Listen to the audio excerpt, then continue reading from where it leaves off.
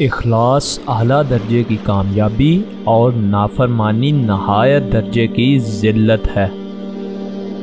इखलास एक बड़ा काम है, मगर देखने की बात यह है कि ख़ात्मा किस पर हो।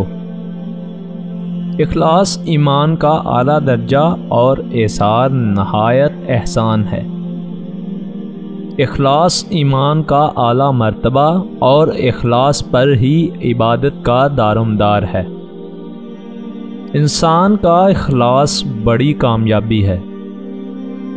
सच्चाई निजात देती है और झूठ हलाक करता है। कंजूसी से बहुत से ऐप पैदा होते हैं।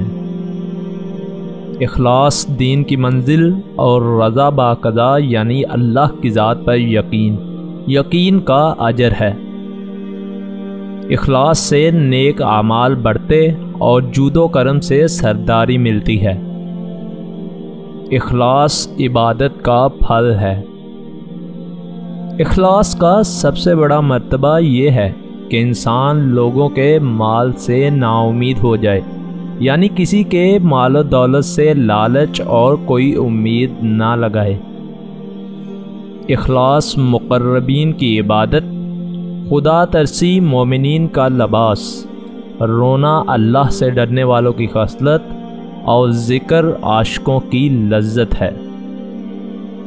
ज़ाहिर और पोशीदा, हमेशा अखलास से इबादत कर और गिबत के बारे में अल्लाह ताला से डरता रह। अगर मालदार हो तो मयाना रवि से खर्च कर।